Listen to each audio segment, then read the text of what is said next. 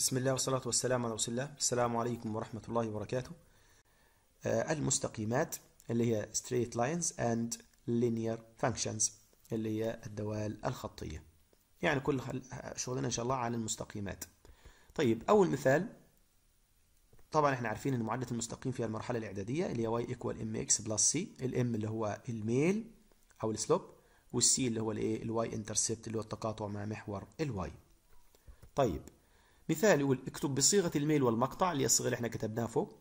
معادلة المستقيم الذي ميله 3 ومقطع المحور y له negative 2 ومثله بيانيا. يبقى المعادلة لازم تكون حافظ الصورة اللي فوق.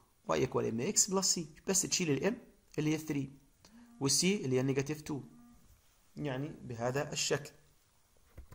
يبقى هنقول له y equal mx plus c.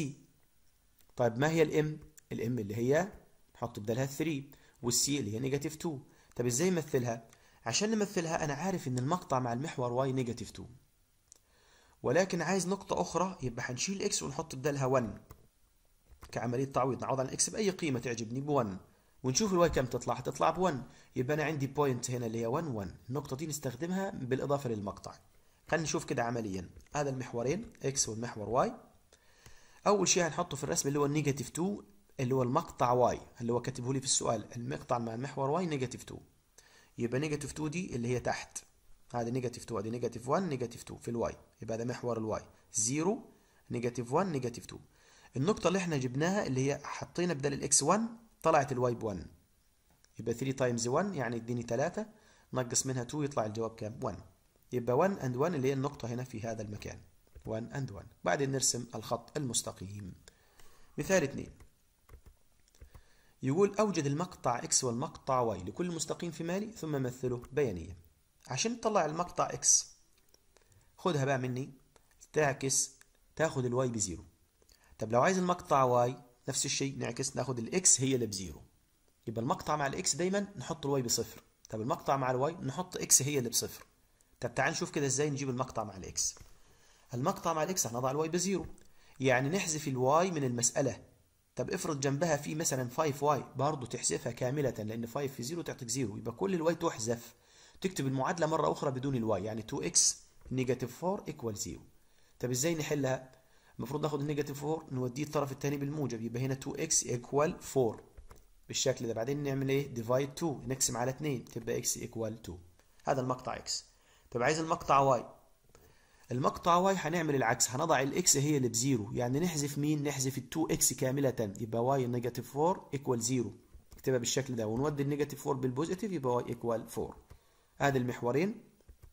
نحط محور ال x ومحور ال y ناخد المقطع إكس المقطع إكس عندك ب 2 يبقى x equal 2 فين ال x هذه. نحط x ب equal 2 والمقطع y بايه ب 4 ونوصل الخط. طيب مثال ثلاثة. مثل بيانيا كل من المستقيمات التالية ثم حدد أيها يمثل دالة. Y equal negative 2 هنرسم المحورين محور الواي ومحور الاكس نيجي عند الواي بنيجاتيف 2 هالنيجاتيف 2 يعني فوق محور الاكس ولا تحت محور الاكس طبعا أسفل يبقى negative 1 لأن هنا ال zero في النص negative 1 negative 2 تحت. نرسم خط عمودي على ال y يبقى لما يقول لي y equal negative 2 نحدد الأول شيء negative 2 فين في ال y في تحت. ونرسم خط عمودي على الايه على ال y ونكتب عليه y equal negative 2 طب هي تمثل دالة ولا لا؟ يبقى نستعمل اختبار الخط الرأسي. لو عملت خط رأسي عمودي على هذا الخط الأحمر هيقطعه في نقطة واحدة. يبقى تمثل دالة. طب نشوف لو كانت x x equal 3 يبقى أول خطوة نحدد ال x بثلاثه فين؟ في اليمين ولا في اليسار؟ هنا 1 هنا 2 هنا 3 يبقى هذه. ونرسم خط عمودي على ال x بهذا الشكل. نكتب على x equal 3 طبعا هنا تمثل دالة ولا لا تمثل دالة؟ لا يمثل دالة ما السبب؟ لأن أي خط عمودي أو أي خط رأسي يمر على هذا الخط في أكثر من نقطة. يعني يتقاطع معه في عدد لا نهائي من النقاط يبقى لا تمثل دالة. وكذا نكون انتهينا من مراجعة الدرس الثالث في الوحدة الخامسة. وإلى اللقاء إن شاء الله مع بقية الدروس. والسلام عليكم ورحمة الله وبركاته.